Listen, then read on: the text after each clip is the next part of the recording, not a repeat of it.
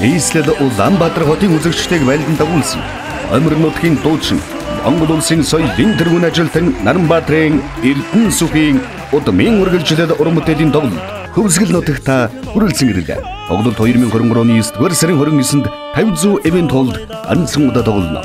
Тоглолтын дурлал Монгол улсын гавьяа жүжигчин Банзрагч Аксны гэрги, соёлын тэргүүн ажилтан Зэвэн Сүрэн, Мөнлөгийн элч дуучин соёлын тэргүүн ажилтан Буян Жаргал, соёлын тэргүүн ажилтан дуучин Улсууд, дуучин Баазанхүү, Лаган Сүрэн нар оролцсон.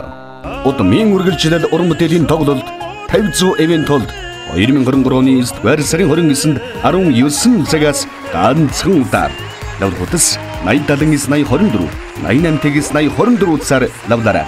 Хоймор нутгийн эрхэм үзэгч таныг хүндэтгэлтэйгээр морилон саатахыг урьж байна.